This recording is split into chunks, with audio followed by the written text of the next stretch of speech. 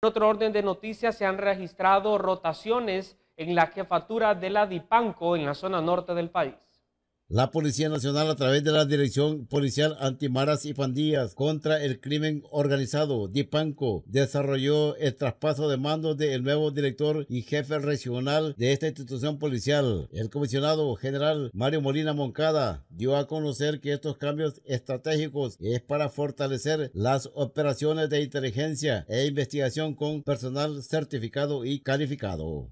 Así es, un reconocimiento muy especial al subcomisionado de policía Jairo Ramos García por su, eh, pues eh, eh, se ha desempeñado pues, de una manera muy especial, con mucho profesionalismo, con bastantes éxitos, con bastantes capturas, decomisos para el bien de la sociedad, también una ardua labor que la Policía Nacional, el Directorio Estratégico, satisfecho con su labor, a tal manera pues que hoy le toca hacer eh, pues su relevo, ¿verdad? Generacional eh, y a él pues a, otro puesto donde considere el alto mando de la policía para que se desempeñe de la mejor manera como se ha venido desempeñando de manera profesional y con estos tipos de éxitos realmente que ha venido a favorecer a la sociedad, eh, sumándonos a esto, a, la reducción de, de, homicidios, que es muy importante mencionarlo. Solo el Valle de Sula redujo 24 de los 95 a nivel nacional y aquí solo en la zona de San Pedro Sula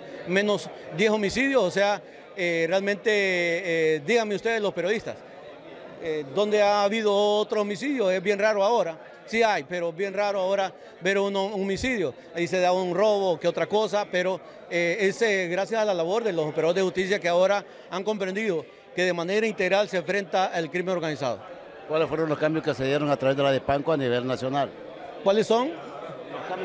No, eso, todas las regionales van a sufrir eh, cambios. Esta es una regional muy especial. Eh, acordémonos aquí que hay casi los 2 millones de habitantes, más los que, están en, los que van en tránsito, que son, eh, calculamos nosotros, unos 400 mil personas, que no es fácil. Hay tres aduanas, una aduana marítima, aérea y terrestre, ¿ya?